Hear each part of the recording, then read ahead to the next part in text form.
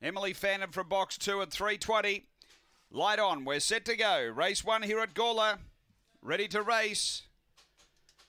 They're set and racing and speed near the inside. Bell's Dream out quickly. Goes through to lead. Second is Wood Veneer. Out wide, getting going, digging for gold. Emily Phantom the inside. Four away came Black Diesel and Burning Spark off the back. Bell's Dream by four.